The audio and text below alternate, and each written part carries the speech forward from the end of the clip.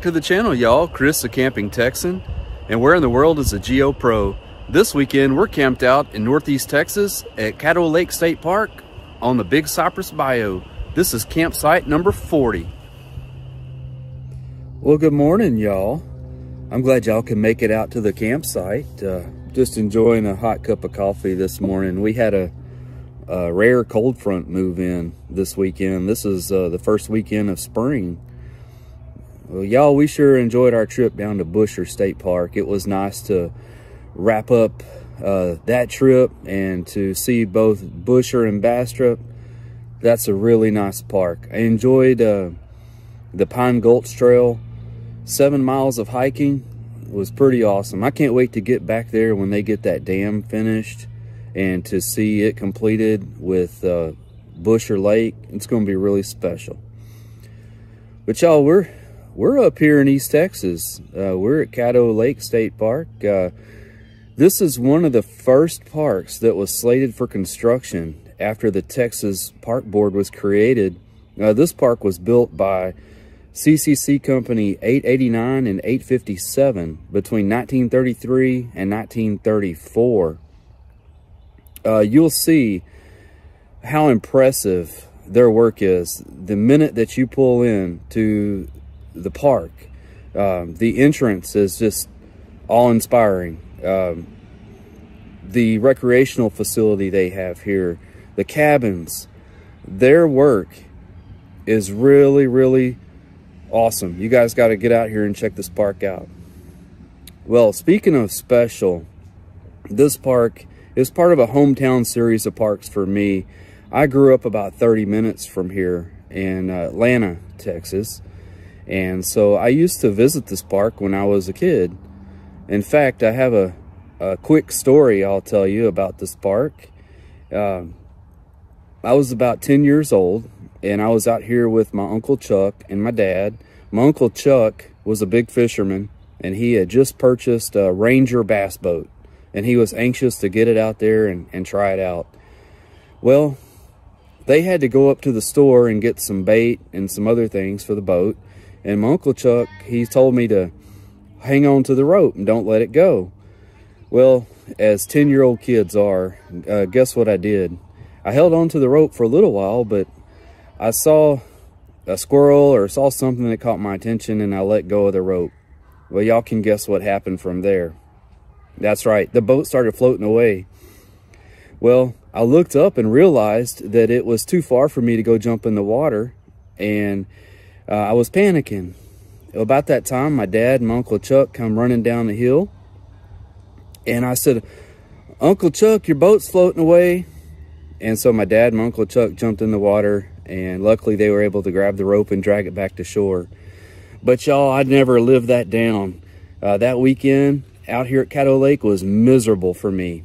And every Christmas at my nanny's house, they made fun of me and right as we'd sit around the table to eat, my Uncle Chuck would say, Uncle Chuck, my boat's floating away. So, so I got ridiculed for many years for that. I guess I deserved it.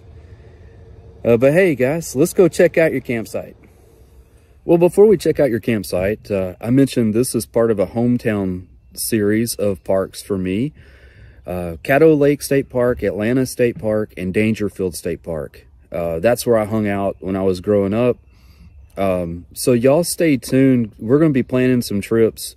I'll show you where we had our family reunions at Atlanta State Park and uh, where I learned how to ski, uh, slalom ski at that, and and then Daingerfield. We were out at Daingerfield uh, back in July 2021. I didn't record when we were out there, uh, but I found a really good campsite and so as soon as I can get that one booked, I'll be recording that park for y'all. So y'all stick around and, and make sure you check out my hometown series of parks uh, that I will be uh, coming out with real soon.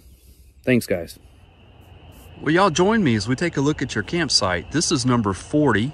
Uh, we're located on the Squirrel Haven Camping Loop here at Caddo Lake State Park. Uh, services, you guys have 20 and 30 amp electric and water no issues with uh, with the services here. Um, the pads are brand new, guys. They just laid this asphalt down. Uh, if you notice or you look on the uh, Texas Parks and Wildlife campsite photos, all they offer is a uh, number 40 and then a very small view of the campsite. Uh, so they've they've recently repaved these uh, these campsites, which made it very easy to level out the Geo Pro nonetheless. Uh, but look at all this yard space you get back here. Okay, so first of all, you're gonna notice that there's an uprooted tree in the back of your campsite. Y'all check out these big old logs that they cut up. Aren't those cool? If you've got kids, man, they're gonna enjoy playing on those. That's, that's really neat. And this, uh, this tent pad is huge. I mean, you could put a big old tent on this thing back here.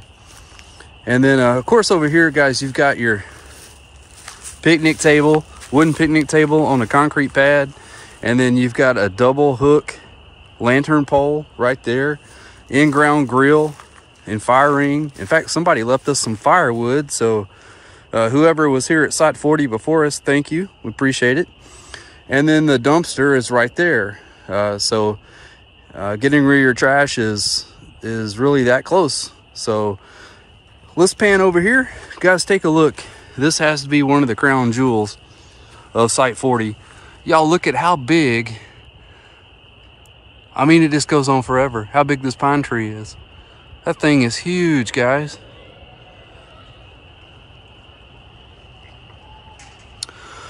Okay, so I love this campsite. If you look at how close my neighbor is, there's a lot of space in between us. There's a lot of trees in there. There's a lot of forest behind us. Uh, the frogs, I have heard frogs nonstop since we got here, y'all. I mean, just the amount of wildlife that's back in here. I mean, this is really cool. Love these thick woods.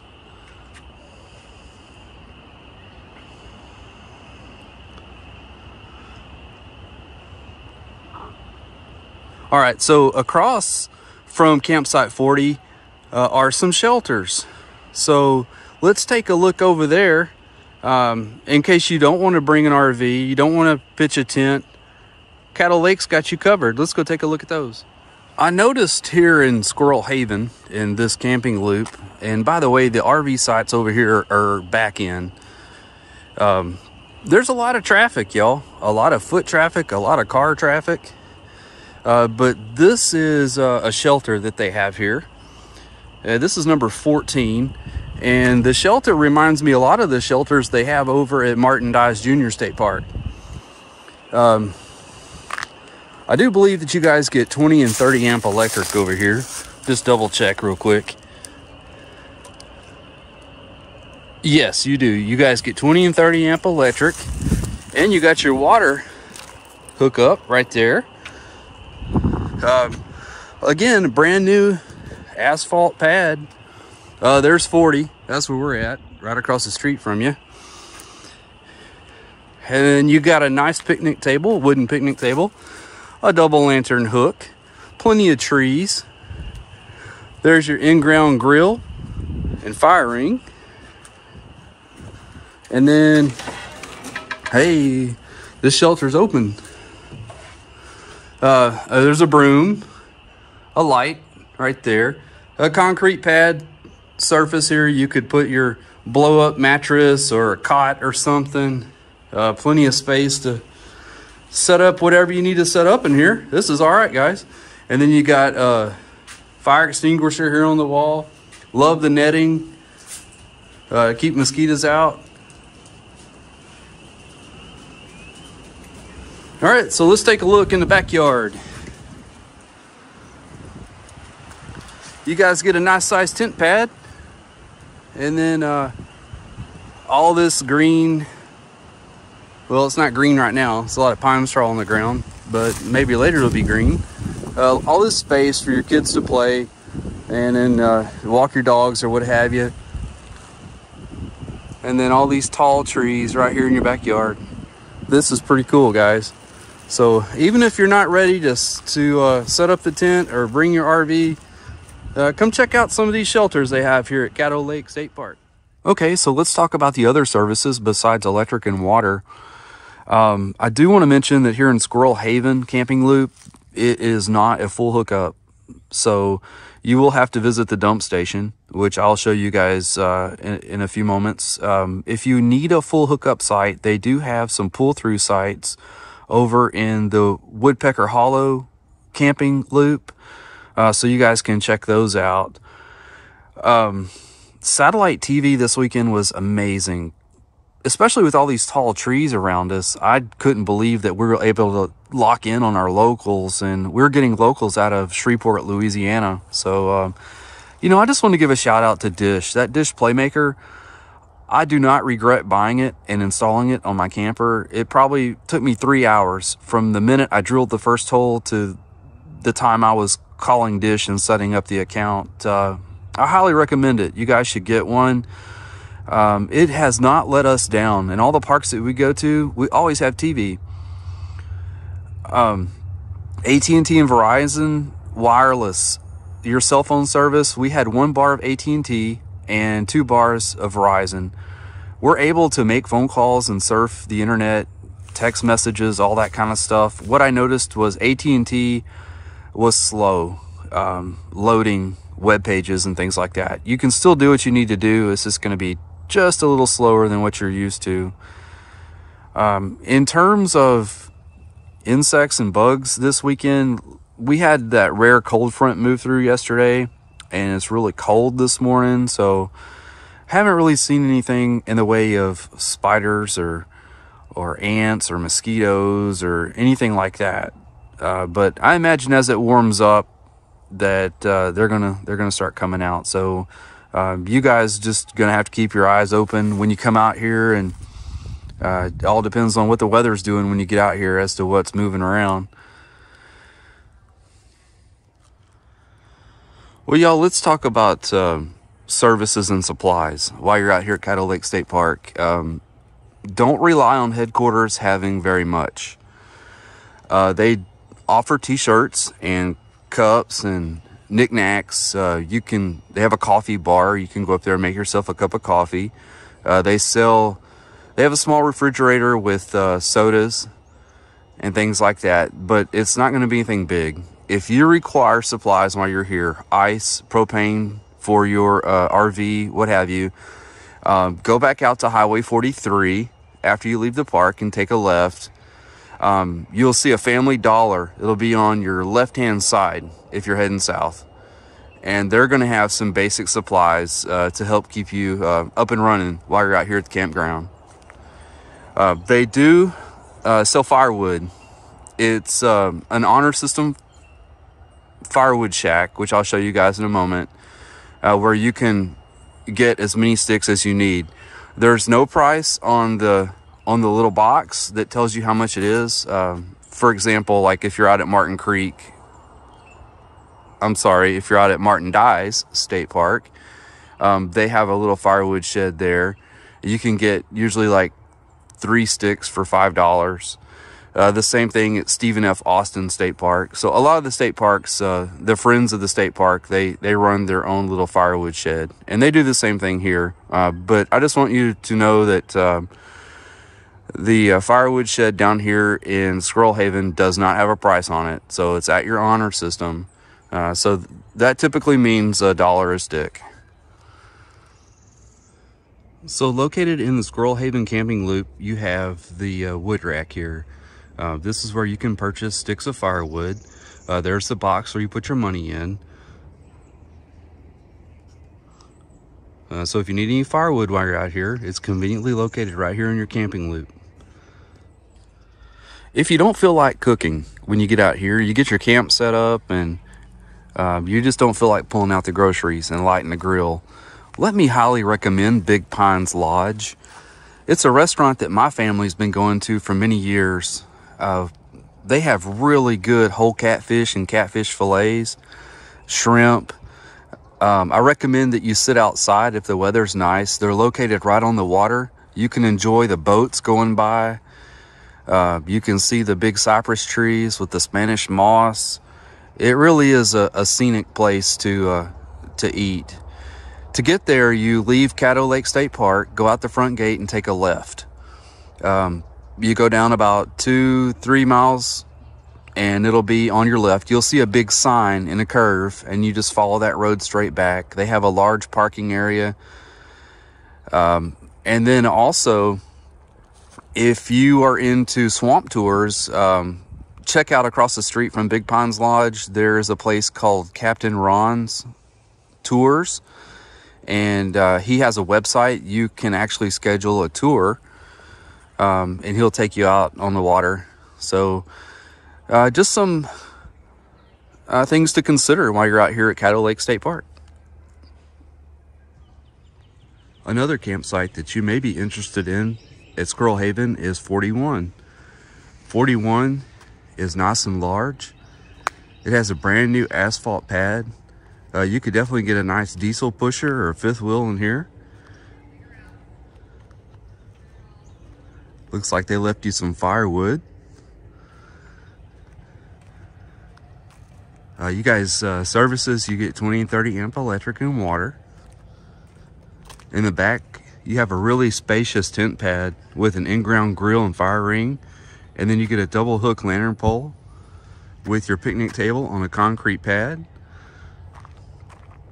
Plenty of trees in this campsite.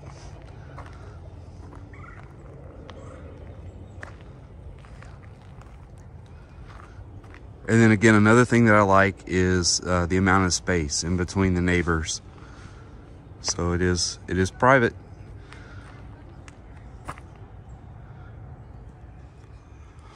I'm also really impressed with campsite 37 here in Squirrel Haven. Um, it's the last campsite on the loop here, which means that you've got all this private space here. You only have one neighbor to your left, and then all these woods belong to you. Um, you can get a nice size rig in here, guys. 20 and 30 amp electric and water. Picnic table on a concrete pad. A nice tent pad in the back if you choose to uh, pop a tent and then you've got a double hook lantern pole back there. But I really like the privacy factor of 37. Here at Caddo Lake State Park, if you would like a full hookup site, you can stay here in Woodpecker Hollow. Uh, this is a really spacious pull through. You could get any kind of rig through here, uh, but your services, you get 20, 30 amp electric and water and sewer. And then in the back back there, you have your private picnic table, aluminum on a concrete pad with an in-ground grill and fire ring, as well as your double lantern hook and pole back there. This is all really nice, guys.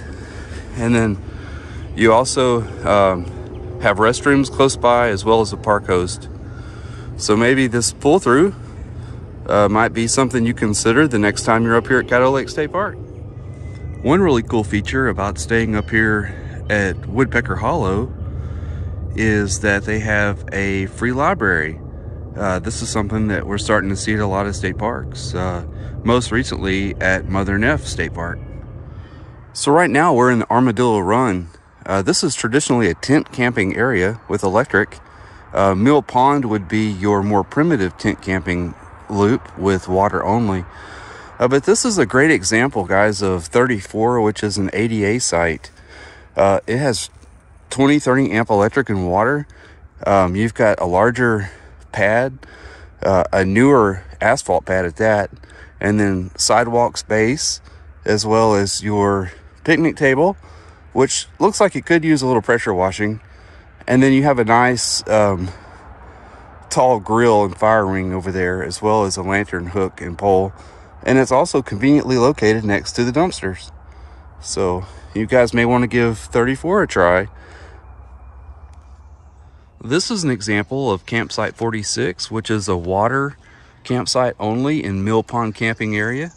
You have a short driveway with a double lantern hook and pole, an in-ground grill and fire ring, a picnic table, and a really nice sized tent pad. Guys, this campsite is really private. It's very well wooded uh, maybe something you want to consider the next time you're out here at Caddo Lake State Park. Well, y'all, this is your dump station. Uh, this is the main road coming down from headquarters. If you're staying in Squirrel Haven, you'll need to visit the dump station. Um, if you're staying in Woodpecker Hollow, those are pull-through sites with full hookups, so you won't necessarily need to come through here unless you want to. Uh, so let's take a look at the dump station. So it looks nice and flat, good concrete pad. There's a dumpster for getting rid of your trash located right next to the really beautiful cabins they have to rent here. They have a single sewer outlet connection and then there's a water hose with non-potable water to do your black tank flush. You guys can see how wide this is. Perfect size for getting your rig through here and taking care of your business.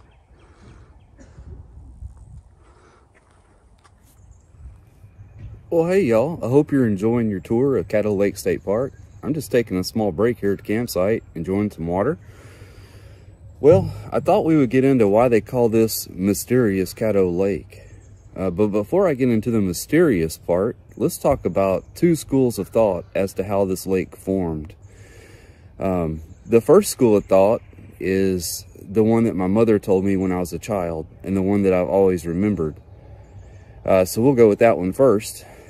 Uh, it seems there was a Caddo Indian chief that fell asleep one night and he had a dream. And in his dream, he dreamed that there would be a great flood. And he was told to move his tribe to higher ground. Uh, so he followed instructions and moved his tribe. And then it started raining. And it didn't stop raining.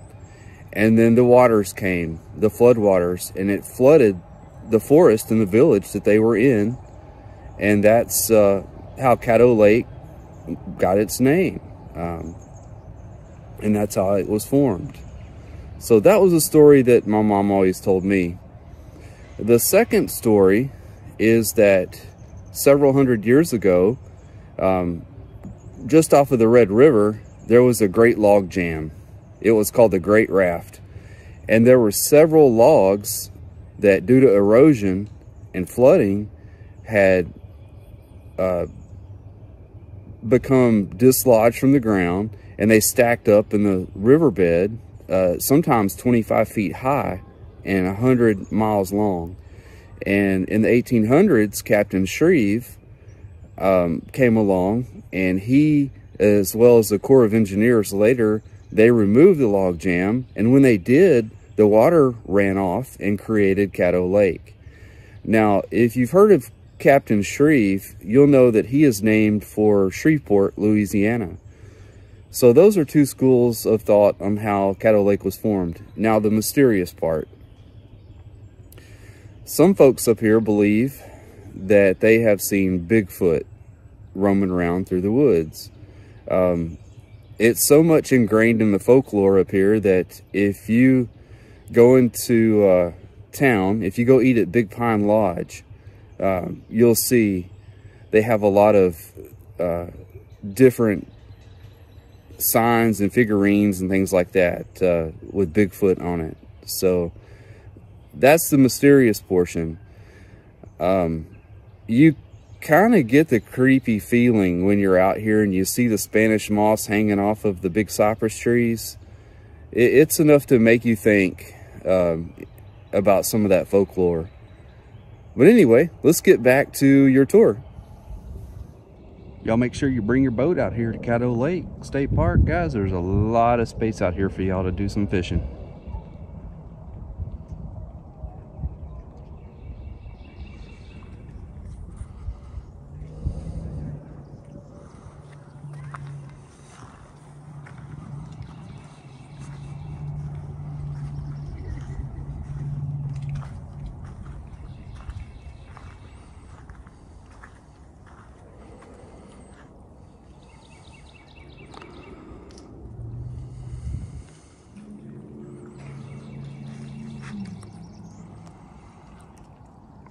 But if you don't own a boat and you just want to fish off the dock, remember it's always free. You don't need a fishing license as long as you're fishing off the bank in a Texas state park.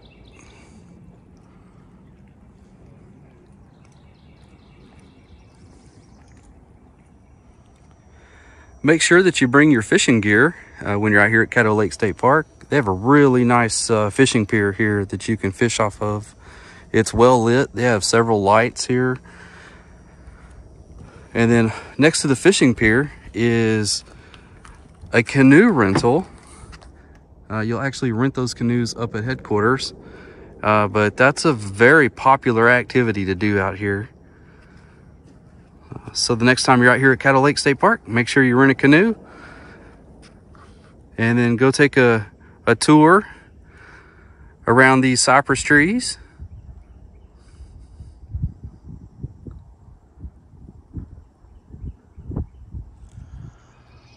So y'all, I mentioned yesterday that canoeing out here at Caddo Lake State Park is one of the premier activities. Um, in fact, it looks like there's some people out there canoeing early this morning.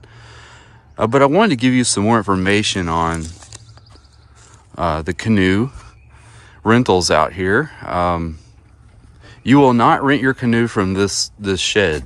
You'll need to go to headquarters. Um, they'll give you life jackets and everything that you need. Um, but it, it, looks like for one hour, it's going to cost $10 um, three hours, $20, and then you can go all the way up to 48 hours, which would be $70. Uh, you'll get your life jacket and return your life jacket and equipment up at the uh, at the headquarters. Well, y'all, let's talk about your activities while you're here. We've already covered fishing. In fact, we're on the fishing pier right now. So beautiful out here this morning. We talked about renting a canoe hiking. Now, I'm going to be honest with y'all. I I had um, checked out the hiking trail map before I came here, and I was kind of disappointed. I just left Buescher State Park, where they have a seven mile combined trail. And so when I noticed that the longest hiking trail here was seven tenths of a mile, I thought, oh, well, this is not going to be good. Uh, but I was pleasantly surprised when I got here to find that the trails here are challenging, even though that they're short. I highly recommend the CCC Cut Through Trail. It's a historic trail. You guys can hike up those beautiful stairs that the CCC put in place back in the 30s. Um, trust me, your legs will get a workout. Um, continue on, and you'll come up to the Pine Ridge Loop. The Pine Ridge Loop is very challenging, guys. It says moderate, but it's more challenging than it is moderate. Uh, but you'll hike that around and you'll see the beautiful cabins um, that the CCC built when they were here. And continue your hike around and you'll come up to the Pine Ridge Spur. The Pine Ridge Spur is where you will see the CCC um, pavilion. And right next to the pavilion is a fire pit that they built. You guys have to really stop and check that out.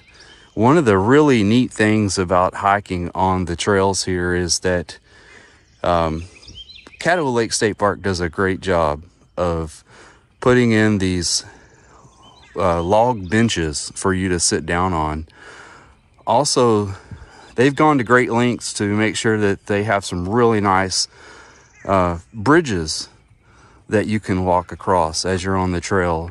So you guys definitely have to have to check that out. And then, of course, um, wrap up your hike by following the Caddo Forest Trail. That trail will take you down to the water and you can see the boat dock the boat ramp and there's a day use area if you like to have a picnic down there. Very very scenic very beautiful.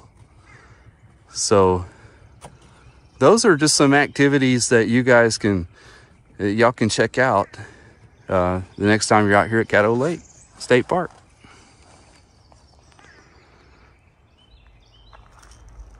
So out here at Caddo Lake State Park on the Pine Ridge Spur, as you're heading up toward the CCC Pavilion, uh, you guys will run across these really well crafted bridges that they've put in here. I mean, these things look really nice, guys. Check out the stonework at the base down here. And then you've got this really peaceful creek running through here. Always say that it's the little features at each state park that make it unique. And definitely Caddo Lake um, they're doing a, a good job of putting in these really nice looking bridges and making these trails enjoyable for everyone out here. Well, y'all is out here at Caddo Lake State Park on the trail and I found Paw Paw. Y'all been missing Paw Paw? Well, here he is right here. No, I'm kidding, guys. This is a tree that is referred to as America's Forgotten Fruit. It's the largest edible fruit tree native to North America. So y'all have to get out here to Caddo Lake State Park so you can come and see Paw Paw.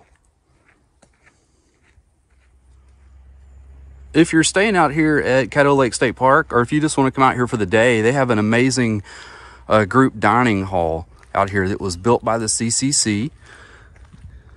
And outside in the back, they have these picnic tables. They're very large, uh, so you could have a family reunion or a large group gathering and some of the picnic tables are ADA compliant as well.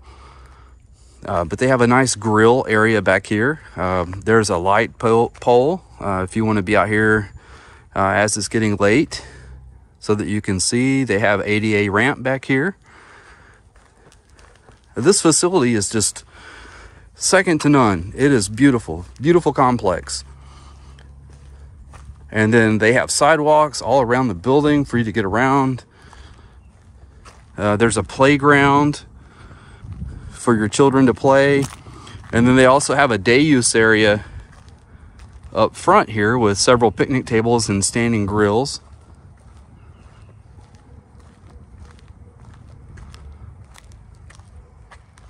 But y'all check this out. Really nice construction. Uh, it looks like a log cabin, the way that they built it, uh, CCC. So just uh, another option to consider the next time you're out here at Caddo Lake State Park and you have a big group gathering. Well, y'all, I sure enjoyed checking out Caddo Lake State Park up here in Karnak, Texas. It's a pleasure to uh, explore these wonderful CCC parks and see the amazing craftsmanship that went into uh, buildings like this group dining hall recreation facility behind me.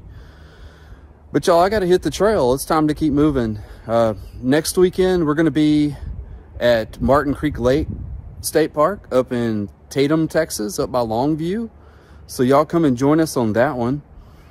Remember, if you enjoyed the content of this video, make sure you give me a thumbs up. I appreciate it. Uh, hit that notification bell so that you'll be notified when our videos post every Saturday morning at 11 a.m. And remember, all my current subscribers, guys, I appreciate you so much. You guys rock so much. I appreciate you watching. And all my future subscribers, guys, what are you waiting for? Get on board. We visit a lot of parks. We see a lot of campgrounds, a lot of campsites. Uh, so hop on board and join me on my journey as we travel. And remember, I'll see you at the campsite.